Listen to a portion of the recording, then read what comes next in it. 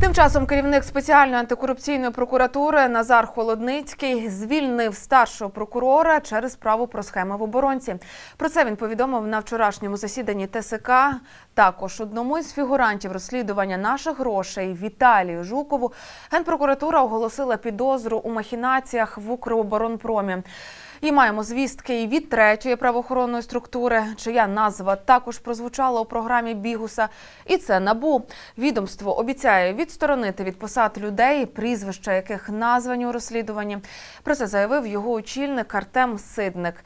Також він зазначив, набу починає слідство з нуля і відкинув будь-які обвинувачення у причетності органу до корупційних оборудок в оборонці.